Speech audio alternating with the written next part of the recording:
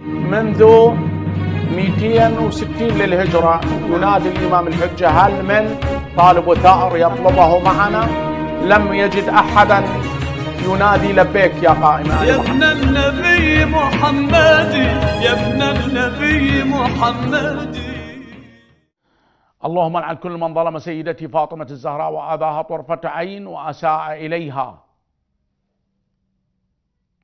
قتل جنينها بعد أن كسر ضلعها قتل جنينها وذبح أولادها وصادر إرثها وخلافتها وفجأ عليا بها وظلمها. الله أكبر. وأدمى قلب رسول الله بذلك. الأمر الجلل. اللهم لعن كل من فتى بفتوته اللعينة من الأولين والآخرين وكل من ساعد على ظلمها. لعنة يستغيث منها أهل النار يا شديد القوى. اللهم صل على الحسن المجتبى. والعن معاوية بن الطلقاء. حسرة تظل بقلوبكم. تقدرون تجيبون منادي وتحطون على أسوار دمشق؟ يلا. كل شيء ممكن تقولون عليه دجال وكذاب ومنافق وكل يقولون ما عاد إشكال. وروحوا رتبوا منا ورتبوا منا بل كان طلع لكم خرجية زينة. أنا غيري ماكو. إن قلتوا أنتم غيري ماكو لأنه ما تقدرون ما عندكم الشجاعة تكونون على ربوة دمشق وتحاربون عدو الله وعدوكم ولو أنتم وعدوكم أصدقاء. ما عندكم. فاقعدوا وسكتوا. اللهم صل على الحسين أبا الشهداء أبا الإنسانية أبا الكرامة. اللهم لعن كل من ظلم واستباح حرمته وجيش جيشه ضده ونال منه. بقي الحسين وانتهى. يزيد وارثة يزيد. هذا الحسين. اللهم صل على علي بن الحسين أبو التكافل الاجتماعي أبو الرحمة أبو اليتامى والمساكين. له حداجة كحداجه البعير من كثر ما يحمل ماء. وشنو؟ وأكل لليتامى إحنا أول ما يصير وهو ما مسوي أحد. الشيطان حط له اركان وسواه يحط إيده هيجي. والناس الغنم. خوش. يقدر يطلع بالليل الأخ أبو علي الدجال ويوزع الفقراء واليتامى. تصير بحكه ويقول لك أنا مؤمن. يا جماعة كل إحنا حرامية. عن معلمي أحب أن أشير عليكم إن يوم ما يسمى بعيدكم وليس عيد عندي آخر رمضان وأول شوال سيكون بإذن الله يوم الاثنين. واحد راح يقول لي أنت دجال شو لك علاقة بهالامور هاي ما هاي القضية مركونة لأهل العلم وياك أني أنا دجال وقابل. بس سؤال إذا طلع أول يوم الاثنين ماذا تقول لزكاة الفطرة؟ هل يصح أن تعطيها يوم الثلاثاء وكان أول شوال يوم الاثنين؟ صارت صدقة لا تدفع عن كميتة السوء ولا البلاء. خسرت أول شيء. الثانية صمت عيدك فيلعنك الله واللاعنون. هاي اثنين. ثلاثة تغيرت صلاة العيد عندك يقول معلمي فإذا أنت ملعون في الدنيا والآخرة. يلا. دجال. تفضلوا. هاي شنو؟ هاي شنو يا ناس؟ يا أهل الغيرة؟ يوم الثلاثاء عيد. شو هاي؟ ما تتغير. كان ليش يزود عندنا؟ تكملة عدة وتكملة بطيخ. ليش؟ كان وين العلم؟ والعلم اللي تعرفونه والعلم وينه؟ وينه؟ نعم. نرجع إلى حتى ننبهكم إحنا. نرجع إلى وضعنا. من هو الخالق؟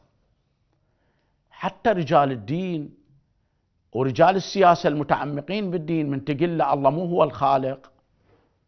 الله خلق محمد وعلي وفاطمة والحسن والحسين وبعد ما خلق شيء.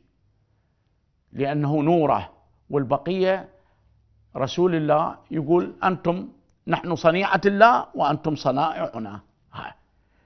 شي يقول لي؟ يقول لي اسال الناس معلمي أنا حكيتها بحلقة ماضية ولكن الآن عدتها. الآن اليوم يوم سبت. وعندي لم يبقى إلا يوم الأحد من رمضان المبارك وأنا أشرح لكم. محتاج منكم تفكرون. حينما نقول إن يوم الاثنين حتى شنو يصح دفع زكاة الفطرة. خوش اجيت للفطرة يا ابو علي الدجال. آني يقبل مني المرجع أجيب له زبيب لو تمر وجاية لو حمص لو عدس يقبل. لا يمكن إخراج الفطرة بعد خروج الشمس إشراقة الشمس تصير صدقة بالية.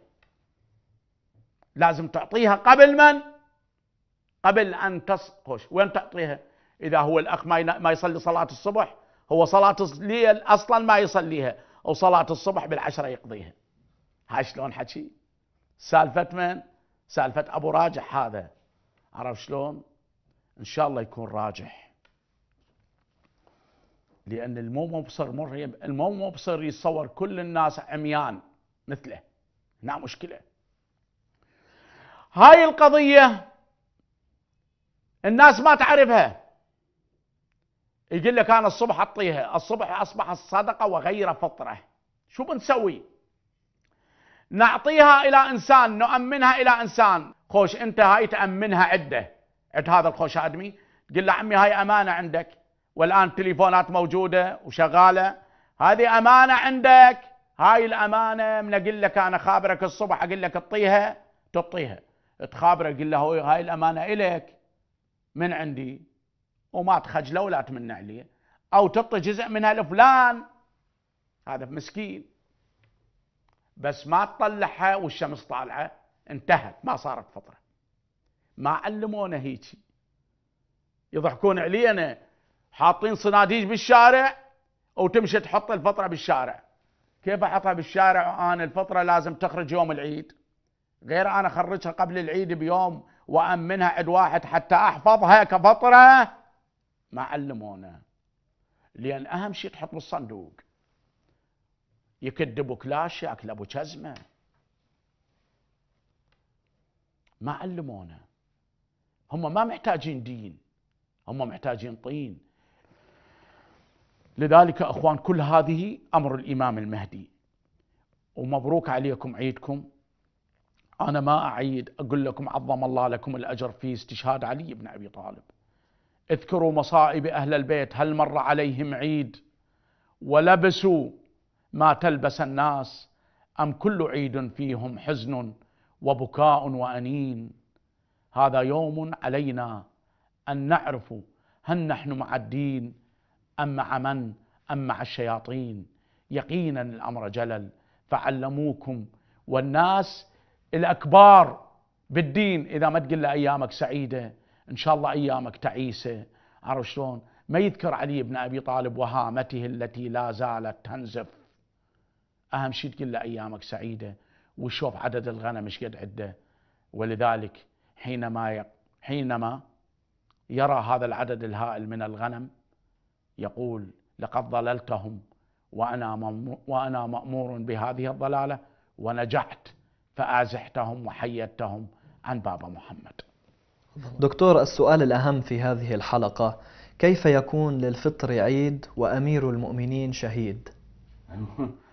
لا تقول لي آني. أنا من زمان كنت ما أسلم على أبوي وأمي وتلعن بي الناس. أقول لهم عمي أمس كنت أبكي. الآن أسلم عليكم ما أسلم.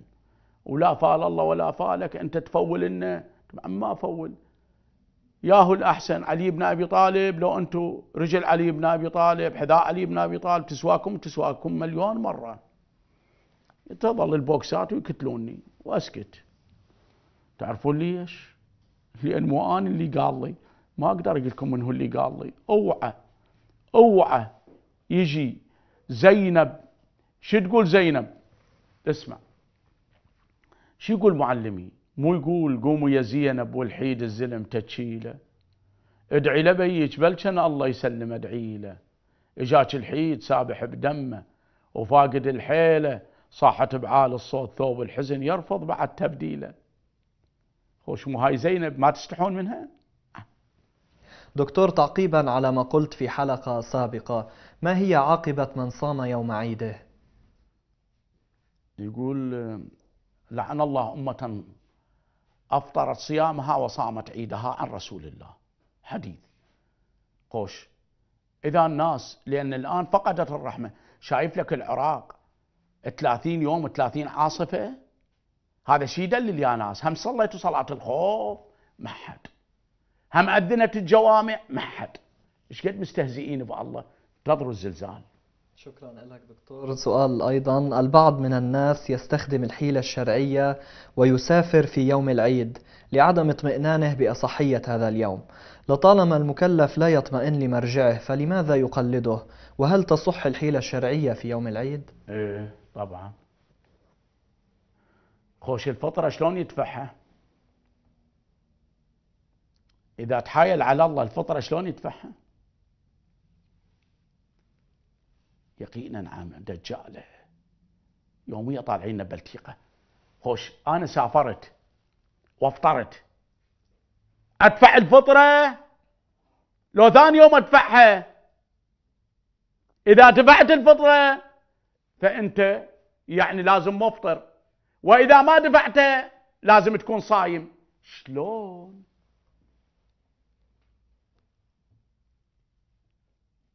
عود انتو. دارسين. استغفر الله يا ربي. أريد أجيب لكم واحد مثل عبد الزهر القرعاوي بس هالمرة يبيع طماطة. تقبلون بيه تقبلون بشيء تقبلون بيه انتو البلاء المبرم اللي ألزمنا المصائب كلها منذ غيبة منذ غيبة علي بن أبي طالب عنا لحد الآن. مو غيبة الحسين. لأن الإمام الحجة لم يغب عنا. ولذلك إحنا محتاجين عقل. إذا أنا مشيت سافرت الآن شو هو السفر؟ سيارة مبردة الطيارة عرف شلون؟ هذا القرآن متجدد لو جامد. إذا جامد مو هذا القرآن اللي نعرفه.